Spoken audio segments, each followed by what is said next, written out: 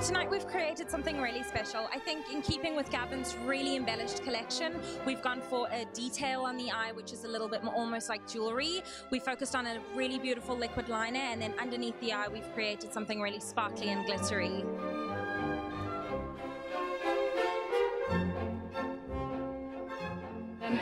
Gavin, your collection was stunning and it was so well received. Thank Can you tell us about the collection, please?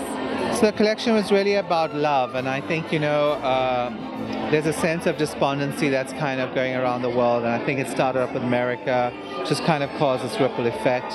But I also think that it's you know it's time that we love each other a little bit more. There's so much. I work a lot with children, and, and I see so much of violence against children. I realize actually if we don't invest in loving each other more, teaching people about love, then we're really going to draw a very hateful, hateful kind of generation, which is going to be hell bent on destroying one another.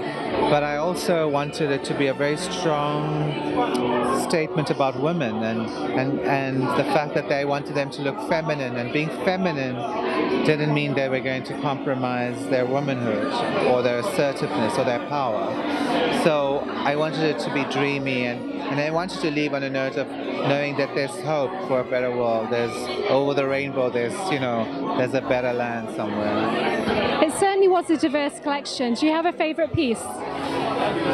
No, I mean, I, I really liked every single piece. There were lot, strong labors of love, these things, you know, and um, all of them were so labor intensive. So they're all, la- you know, labors of love for me. Well, it certainly was stunning. And the collaboration with the activewear brand Fit, how did that come about?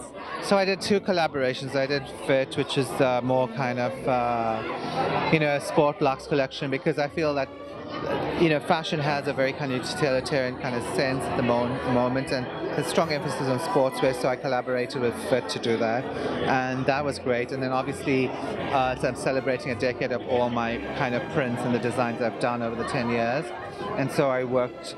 Uh, in, with my with Room 13, which my graphic design is to do it, and then collaborate with Coca-Cola on designing the limited edition packaging. Well, that again was absolutely fabulous.